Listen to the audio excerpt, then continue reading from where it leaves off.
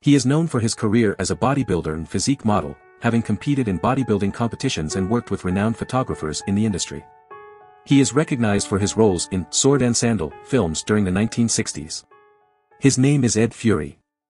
In the realm of Hollywood history, there is one name that stands out, Ed Fury, a versatile actor whose journey captivated audiences. Born as Rupert Edmund Holovchik on June 6, 1928, in Long Island, New York, Fury's early life was marked by adversity. Orphaned at a young age, he eventually made his way to Los Angeles, California, in the late 1940s. It was here that he discovered his passion for bodybuilding, competing in renowned competitions like Mr. Muscle Beach in 1951 and 1953, where he achieved impressive rankings of third and second place respectively. Not only did Fury excel in bodybuilding, but he also made a name for himself as a physique model, working with esteemed photographers Bob Mizer and Bruce Bellas. He even ventured into the world of male erotica, making appearances in films for Mizer's Athletic Model Guild. Fury's journey into the world of acting began with humble beginnings on the stage. Despite starting with uncredited roles in films, he soon landed his breakthrough role in the film The Wild Women of Wongo. However, it was his portrayal of an Olympic hero in the television series, Naked City, in 1958 that truly showcased his talent. Unfortunately, after this success, Fury experienced a period of unemployment. In a twist of fate, he found himself arrested and accused of theft and assault. Despite this setback, Fury's determination and resilience remained unwavering.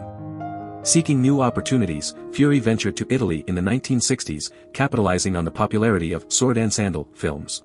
Riding the wave of success initiated by Steve Reeves in Hercules, Fury secured leading roles in films such as Colossus and the Amazon Queen, The Seven Revenges, and Maciste Against the Sheik. He even took on the iconic role of Ursus in the Ursus film trilogy. However, as the popularity of Sword and Sandal films declined, Fury's career took a different direction. In his later years, Ed Fury chose to step out of the spotlight, preferring a quieter life away from the hustle and bustle of Hollywood.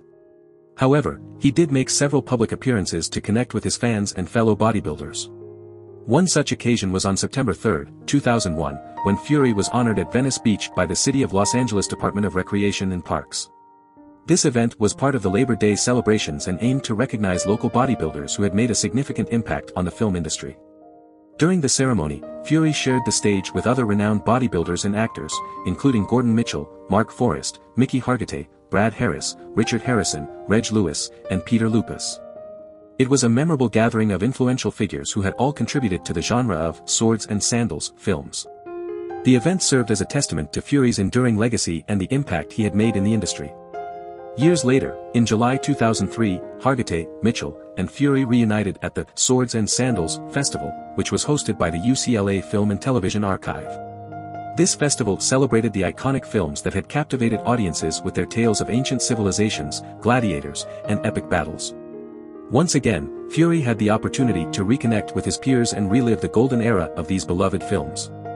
Tragically, on February 24, 2023, Ed Fury passed away at the age of 94. He peacefully left this world in the comfort of his home in the Woodland Hills neighborhood of Los Angeles.